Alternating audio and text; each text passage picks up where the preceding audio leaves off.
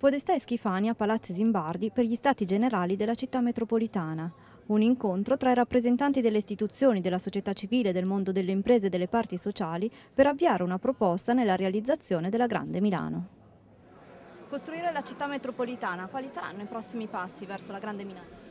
Ah, il governo metropolitano si costruisce in base alla legge con la costituzione di un comitato promotore, cosa che abbiamo fatto insieme al sindaco Pisapia e agli altri sindaci dei comuni intorno a Milano la settimana scorsa. Abbiamo poi eh, oggi un momento di riflessione generale anche con esperienze che vengono da altre realtà territoriali. Il Comitato farà una proposta, questa proposta sarà sottoposta al vaglio dei cittadini al referendum che viene fatto proprio specificatamente per questo, dopodiché si realizza questo governo di un livello superiore a quello municipale su poche importanti materie che sono quelle che poi stanno a cuore al cittadino, il trasporto pubblico, l'aria che si respira, l'acqua, i rifiuti, eh, la qualificazione professionale per coloro che hanno perso il lavoro o devono entrare nel mondo del lavoro, eh, la pianificazione territoriale. Questi sono gli unici temi affidati al governo metropolitano.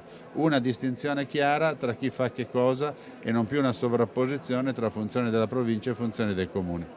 Se l'area metropolitana nasce, morirà la provincia ad esempio come questa di Milano? Beh, guardi, eh, sulle, tutto oh, si inserisce secondo me in, eh, nel quadro delle eh, riforme delle nuove province o dell'abolizione delle province. Io farei un ragionamento più articolato. Ritengo che il tema delle aree metropolitane debba trovare una giusta collocazione nel dibattito delle riforme eh, eh relative all'abolizione delle province. È evidente che le province se dovessero scomparire non potranno che essere sostituiti da eh, organismi di governo del territorio eh, che eh, sostitui, si sostituiscano alle funzioni delle province. In quella logica, nella logica di creare, di evitare che si colmino dei vuoti, il discorso della individuazione delle aree metropolitane può trovare sicuramente un momento di ampia riflessione.